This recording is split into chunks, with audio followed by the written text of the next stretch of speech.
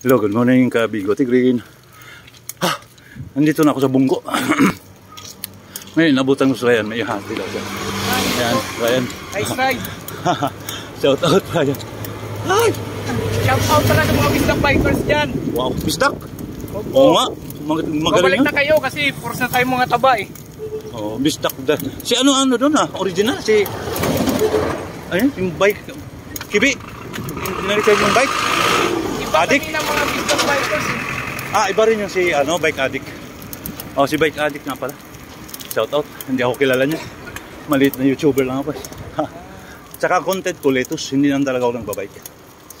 Lettuce dahil yung lettuce ko, binibenta ko pagka naka-harvest nga ako last week eh. Magabi-gabi. Marami rin pumunta sa bahay. Kasi yung, ano ko, Saan Yung- mo kuya? sa kanlubang. Yung bahay ko kasi sa rooftop, sa ibabaw ng bubong ko, nilagyan ko ng ano, ah, greenhouse. Ang pinangalan, pinangalan ko, hanging greenhouse. Pumutok naman. Nung nag tumubo yung mga YouTube, ah YouTube, yung mga lettuce sa pagod, iba iba sinasabi ko.